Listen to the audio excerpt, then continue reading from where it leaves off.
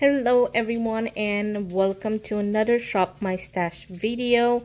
In today's video we're going to talk, in the first part of the video we're going to talk about what was in my Shop My Stash last week and what I liked, what I didn't like, what worked for me and in the half, the other half of portion of the video we're going to go and look through my uh, stash and uh, grab some stuff for this next week. So let's get into it.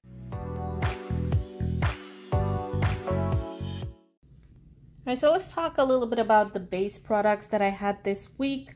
I had this one from YSL that I was trying it for the very first time. I have to say I haven't seen any pore refining while I'm using, while I was using this one. I, I can't say my face was very matte either. It was more a little bit more hydrating. It didn't feel like silicone. It didn't feel like a pore filling type of uh, primer. Um, I don't know what to say. It, it really does not do what it says to it does.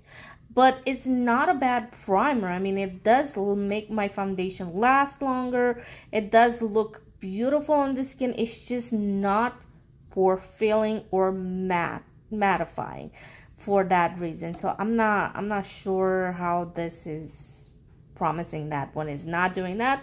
So um, that's that about that. The foundation from Fenty Beauty did really enjoy it. You know, by now I do like the Eaze Drop. I have mine in 11. Also, this one, I haven't used it that much. I think once or twice. And uh, this one from Huda Beauty is one of my favorite one. And I do really enjoy it. And it worked really nice with this primer, actually and then I had this one from uh, Charlotte Tilbury. This is in medium. I do really enjoy this one. As you can see I have a big uh, pan in it and um, pretty sure I'm gonna finish it out. But then I also pulled the Neutrogena one because um, I had some dark circles um, some of these days and I needed a little bit more coverage. So I added this one on top. So we'll take all these out now let's talk about the uh, blush, bronzer, all the things that I had this week. I had this one from Charlotte Tilbury. This is the Magic Powder Under Eye and Face. For some reason, this one did not work that great for me this uh this week for my under eyes especially. I don't know why. It just kind of made my eyes a little bit cracking. I am not sure what's going on. I do get my lines are getting a little bit more defined now so i'm not sure if it's that or it's just the makeup. I'm not quite understanding yet. But uh, yeah it was a little bit too much for my under eyes. For the entire face wasn't a problem but for my under eyes was a little bit too much. Uh, this one i do like. I really do enjoy it. I love it but i'm gonna put it back in. This one i actually take it took it out because the Rare Beauty, the new Rare Beauty one, uh, which by the way is in Love Blush. I don't like it. I think this is a very patchy, uh, weird looking um, blush. I do not like it. I try to apply it with a uh, with a brush, and also I try to apply it with a sponge. I tried applying it on top of powder. I tried applying it uh, on top of foundation. It did not work either way. I tried it a multiple ways every single day trying to figure out how to play with this and I do not like it. I don't know what you're you supposed to do and how you're supposed to do it, but the way I tried it and all the situations that I tried it, I did not like it. So when yeah, I tried something so many times in so many ways and it still doesn't work, that means there's a problem with this product because what the hell? Do you have to be an expert to be able to get this right? Like i don't get it. So i love the color. I just don't like the application. It's very very patchy. So that's why i put the almay one in um, like at the middle of the week. I said you know what? I'm, i need a better i need something a blush that actually performs. So i pulled this one out from almay which i really do love. And this one it is in um, 20 mauve and then also i had the glowish by uh huda beauty and tan light the luminous pressed powder. I really do enjoy this one when I was applying it over top of this one because this one is a little bit more drying. So I was bringing that more natural looking uh, vibrant youthful look by applying this one on top i really did enjoy that and then of course i had this one from uh, butter bronzer which i still haven't finished it um, but i'm gonna take it i'm gonna put it in my empties as finished because i think it's I've used it enough, I would say. And then, of course, I had this one from Too Faced, the Cocoa Contour. Really love this. I adore this thing and uh, I'm gonna put it back but yes I've used it I've used it all week long I really do enjoy this one Okay, so now let's talk about the Dior products that I had some of the Dior products that I have. Uh, I really do enjoy this mascara. If I would choose between this one and this one I would go with this one the Diorshow. I really do like this mascara. It's so so nice for my very sensitive eyes. It doesn't give me any problems no problems whatsoever very easy to take it off very voluminizing not very lengthening so keep that in mind but very voluminizing and it does not look like a spider leg. You know it's so pretty so natural so beautiful. I, I really do enjoy this one. And this one is a little bit more I would say a little bit less um, voluminizing. So because of that, I do not like it as much as I like this one. But both of them in combination, both of them, they look really nice. But if I would choose one, I would go with this one. I'm going to keep both of them for this week as well in Shop My Stash. The two liners um, that I had, the black and the blue one. I really do enjoy both of them. I would not go as far as like spending a lot for these two but they're really nice ones. Mm, pretty normal. Yeah they do long they are long lasting but not necessarily anything that impressive that i would say you need to go and buy these immediately. You know what i mean? They're just like two good liners. I'm gonna keep uh, my uh, NYX uh, lift and snatch pen in espresso. You know by now I really love this one so I'm gonna keep it. Uh, this one from Benefit I really did enjoy it. I wore it once or twice um, and I did enjoy it but I'm gonna take it out because um, there's no need for me to have that one this week. Um, and then of course I have these two from uh, Dior and I really did like how they looked on me this week. They are very beautiful and long wearing, but they are a little bit shimmery, so keep that in mind. They're not a matte finish. They're more like a very, um, yeah, can, as you can see, I broke it a little bit in there, but there you go in the cap. But they are very, um, very comfortable on the lips. I really like that and very hydrating in the same time. So I have this too, which I really did enjoy it. This one, you know, by now I absolutely love. This is the Dior um, Addict Lip Glow in 001 very hydrating on the lips and uh, I reapply this all the all the time. And then I also pulled this thing out from KKW which is that um, brightening powder in one which I really do enjoy and uh, I had it for a very long time but I'm not gonna let this one go because this is the best powder for pick me up when I have like really dark circle where my under eye looks really gross I just apply a little bit of this and everything is being erased like magic. So I really do enjoy this one. This one is going to stay in uh, my stash for next week as well. These two are going to go uh, in my drawers. This one is going to stay in my stash. Alright, so here's the last three items that we're going to take out of our uh, shop my stash and put it back in the drawer. This peppermint frost from Jeffree Star. I really did enjoy all these. I actually combined the ugly sweater with the chocolate eyes a lot. And then I put a eye glow gold by itself. So I really do like to mix and match these. And they always look really nice on the, my skin. They don't emphasize my texture at all. And then I also played with this one from uh, Danessa Myricks, the Color Fix Matte. I really enjoyed this one on the eyes. It did create a beautiful look with, uh, with it.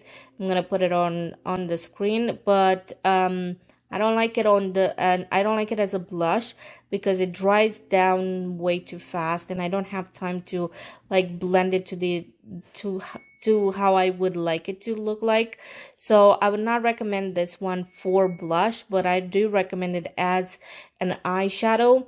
Um, and then the setting spray from uh, Jera Cosmetic is nice. I don't like the mist from this, but it is a nice, uh, hydrating, refreshing, uh, mist. But we'll take, we're gonna take all three out. Right, and here's the two uh, eyeshadow palettes that I've used this um, this week. I really do enjoy this one. Very beautiful, amazing quality. Nothing else. Uh, I wouldn't expect anything else from Charlotte Tilbury. It is very expensive though. This is like a $52 eyeshadow palette. So I'm not sure if it's worth $52, but it is a very beautiful um, eyeshadow quality and color. Very neutral so this is a very everyday. If this is what you use every day then i would definitely go and purchase it. But if you don't then i would just maybe go with the one of the big palettes because you get a better value from that. It's like 75 dollars and you get way more than this. You know what I mean? That's just my opinion. And then, of course, I had this one from Jeffree Star. I did create some beautiful looks with this one. Some brighter, some more natural, neutral looks. But I did have some fun with it, and I'm glad I pull it out. We'll put it back in and in. And now, let's go shopping. As per usual, let's start with foundations. I do have one two actually foundations that I want to review this week. So I only gonna choose one from here. Mm, I'm gonna go. You know what? Let's let's take it out. Let's go with this one. Let's go with a good uh foundation that is one of my favorite. Too Faced Born This Way. And for powders, um, I'm gonna go with this one from NYX, the Professional Makeup Can't Stop, Won't Stop. And for my under eye, I think I'm gonna go with this one from Ofra, the banana powder. For bronzer and blush, um, let's see what we have in the back over here. I do want to go with a liquid one as well. So I'm going to go with this Iconic London, which is sheer bronze, I guess, in caramel glow. So we're going to get this one as an option. And then we're going to go Oh yeah, I do want to go with this one from Charlotte Tilbury as well. This is the Cheek to Chic Swish and Pop uh, Blusher in Ecstasy. And then another bronzer that I want to go with, we're going to go with this one from um, ABH in Cappuccino. Should I choose another blush? Um, you know what? Let's go with this one. Yeah, let's go with Breezy Peach Sunset from uh, Tarte. Primer and concealer. Primer. I don't know what primer. I think I'm just to go with this one. I haven't used this one. And I remember using it with that foundation and I really did enjoy it. So we're to go with NYX Hydro Touch. Yeah. Do this one. And for um, under the eyes, I'm to go with this one from Fenty Beauty. This is the Bright Fix in Deep Butter 07. And uh, I'm to take this thing out as well. This is an eye primer from Milani, which is eyeshadow primer. So we're to take this one as well. I'm going to take this setting spray from Milani, make it last matte finish.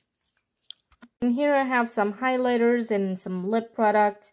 Um, for lip liner, because I have a few in here, I'm gonna go with this one. This is from Wayne Goss, and this is in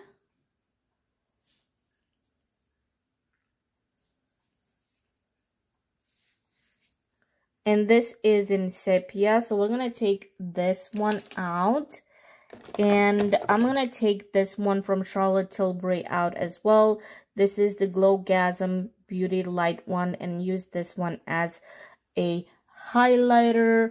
And I think that's it from here. And here I have some eyeshadow petals that I want to use during the fall time. And we're gonna choose from this one I'm gonna go with two again and I'm gonna go into this one. I'm gonna get the love Sarahi and dose of color. So this is gonna be one option. And another option I am uh, thinking. Let's do this one. Let's do the let's do the big one the new one from uh, Pat McGrath which doesn't want to come out apparently. She's upset but we'll do this one, the Mothership Mega Celestial Odyssey. And for liners, I do have some new liners in here. So I want to play with this one a little bit. The green one from Hard Candy. I have not tried this one yet. So I'm going to take that one out. And then I'm going to take this one from Blinc, which is supposed to be a block liner. So we'll do this one as well. And for the lips, I am thinking we're gonna go with this one from MAC. This is the Coffee and Cigs. So we'll do that one.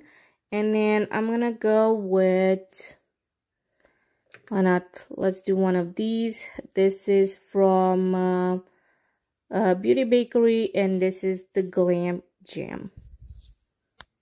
Alright, so let's recap this. Um, we're gonna go with NYX Hydro Touch for the primer, Born This Way foundation in golden. Alright, so here's how they look like, the powders for this uh, powders, blonde, the blush, the bronzer, stuff like that for this week. Have some swatches over here. So the first one is the one from KKW. The second one is the banana powder. The third one is the NYX powder. The fourth one is the ABH bronzer in cappuccino. The fifth one is going to be this one from here from uh, Charlotte Tilbury, what it which is broken, but I don't care. I'm still going to use it. So this is in ecstasy. And then right next to it, I have the uh, Glowgasm. Um, and then right next to that, I have the iconic uh, sheer bronzer which as you can see does shears out real fast and then on top over here I do have the Tarte cream blush here are the two lipstick swatch uh, the one the red one it is from um, Beauty Bakery in Jam Glam and the other one is from MAC and here's the swatch of that uh, lip liner from uh, Wayne Goss, which I really do like. I know I love that, so I'm gonna, I'm really excited to try it a little bit more. But uh, yeah, and the rest of it, I have this one, which I really do enjoy this one. I tried it once and I really did enjoy it. And then, of course, the setting spray and uh, the two mascaras, the liner from uh, uh, Blinc Cosmetics. And now, let me show you how those two eyeshadow palettes look like. Here's the eyeshadow palette from uh, from uh, Pat McGrath, not Charlotte Tilbury. She's not here today. Um, Pat McGrath, and um, I bought this recently. I played a little bit with it, and I really think I need to go back and revisit this and just create a few more looks with it and just kind of get my overall impression if it was worth it or not.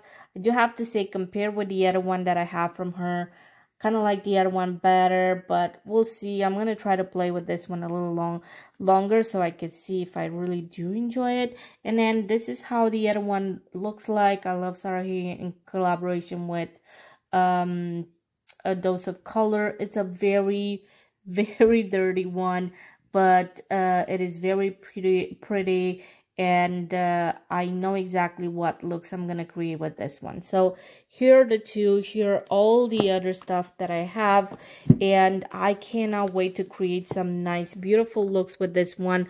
Let me know down below um, which products do you have and what are you going to put in your shop your stash this week? And um yeah let's see let's meet here next week and discuss about what worked for us and what didn't.